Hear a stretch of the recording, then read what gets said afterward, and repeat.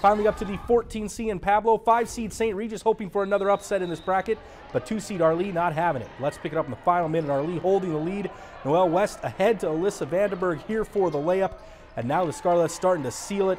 Emily Fiddler is going to block this three-point attempt. That gets it to Nellie DeJarle. She gets it ahead up to Vanderberg once again wide open. Vanderberg scores 31 points, and Arlee stays alive for another week, 54 to 43.